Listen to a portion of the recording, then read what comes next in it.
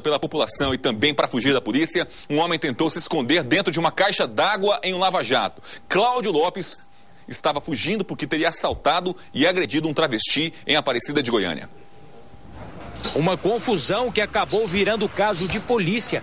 De um lado, o lanterneiro Cláudio Lopes Farias, de 36 anos, casado, pai de um menino. Do outro, um travesti conhecido como Graziela Silva. Era madrugada quando eles se encontraram. Cláudio tinha brigado com a mulher e saiu para beber. Ele conta que encontrou com Graziela por acaso. Já era tarde, já, já era umas quatro e meia da manhã. Eu já vim para ficar mais perto do meu serviço. E aí encontrei, deparei com ela na rua e pá, ela... o dia já estava amanhecendo, não era mais. O dia já estava claro. A confusão começou por causa de dinheiro.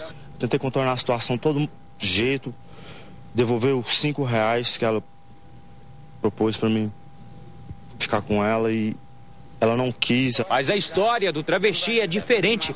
Ele garante que foi assaltado. Ele falou, me dá uns cinco reais pra me fumar uma pedra. Eu falei, eu não tenho cinco reais. Só que eu tinha uns cinco reais, lógico, né? Aí ele pegou, falou assim, aí eu peguei e continuei andando. Ele veio por trás de mim e já foi com um trem, tipo assim, uma faca, me ameaçando com faca. Eu falei, tá bom, vou dar os cinco reais. Aí puxei a carteira e dei os cinco reais para ele. Aí tá, nós descemos. Aí no que a gente desceu, eu continuei andando e ele me ameaçando.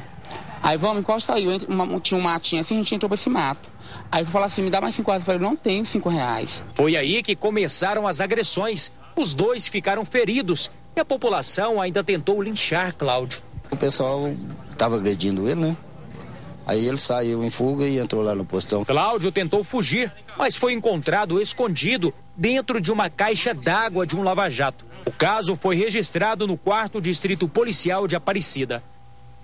Vários crimes em um só, né? Primeiro, o fato da pessoa agredir fisicamente ali, é, seja qualquer pessoa, enfim, travesti, é, ser humano, antes de mais nada, é um crime terrível contra o travesti, já é um crime homofóbico já no primeiro momento. E outra coisa mais ali também, o fato de querer, é, enfim, ter um ato sexual, e aí ficou essa confusão toda de dinheiro, forçou a situação ou não mais um, mais um caso aí grave de desrespeito em relação ao ser humano. Cabra casado, pai de um filho, aí tinha brigado com a mulher pela madrugada, resolveu dar uma voltinha por aí e aprontar.